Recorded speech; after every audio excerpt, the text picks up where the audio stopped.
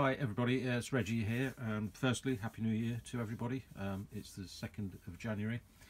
Um, this is just a quick video. Um, you may have seen uh, one of my previous videos uh, with this DB Schenker um, sound fitted uh, Class 66 from Bachmann and I had a comment from uh, Adam Aldridge um, saying he had one and he'd had uh, noisy gears on two of them, had to send them back had a third one, uh, and he still thought the the motor was a bit noisy. So would I um, compare this one to um, a, a, another Bachmann Class 66, an older one which I've got? So um, I did a comparison, and um, yeah, I thought this one maybe was a little bit noisier, um, but I thought I'd do a quick video just to show them both, and um, I recorded some decibel uh, readings previously. I can't do it now because uh, I'm using the iPhone to video this.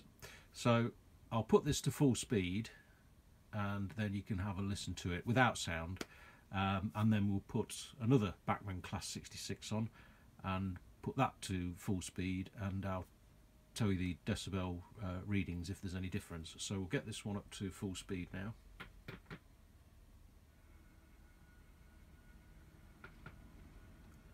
So it's just uh, ramping up so when I did this uh, previously, the decibel reading at full speed was around about 62 decibels.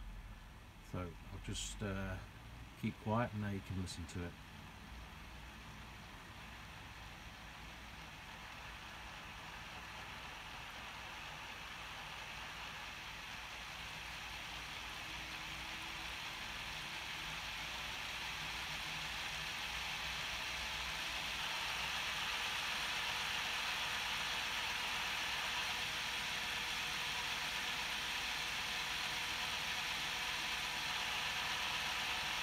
So that's at full speed and um, like I say the reading I took previously was, was around 62 decibels.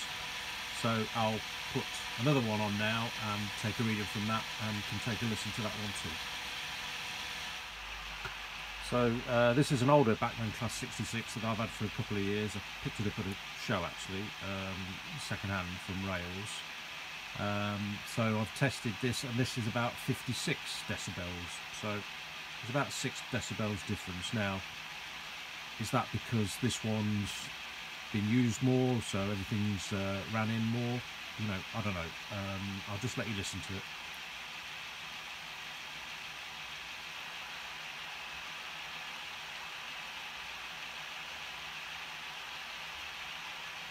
So yeah, you can you can hear it's quieter, but that could be a number of reasons. Could be because it's uh, been used more. Could be that Bachmann have changed their motor and gear supplier or specification. I don't, I don't know. Um, both run very well, no problem at all. Um, so, in conclusion, I don't really have a conclusion except that yeah, this one is certainly quieter, but that could be for any number of, uh, of reasons. Certainly, the performance of both locos uh, is fine as far as I uh, can see. Anyway, like I say, just a short video. I hope that helped uh, Adam if you've uh, if you're watching this, um, and uh, anybody else that, that, might have had the same query. I'll uh, see you again soon with some uh, new videos. Bye.